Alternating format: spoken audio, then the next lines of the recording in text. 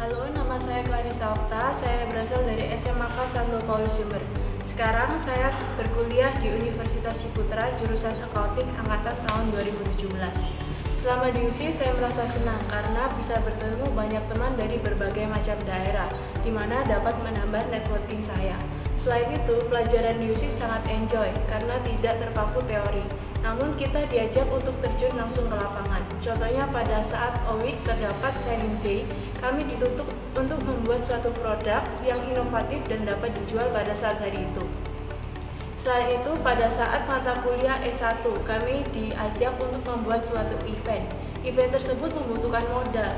Modal tersebut tidak boleh minta kepada orang tua, melainkan kita harus mencari dengan kerja keras sendiri. Dari sana saya mendapatkan berbagai macam pengalaman. Bagi saya pengalaman tersebut sangat berguna bagi saya untuk ke depannya. Sekian yang dapat saya bagikan. Terima kasih. Salam Enterprise.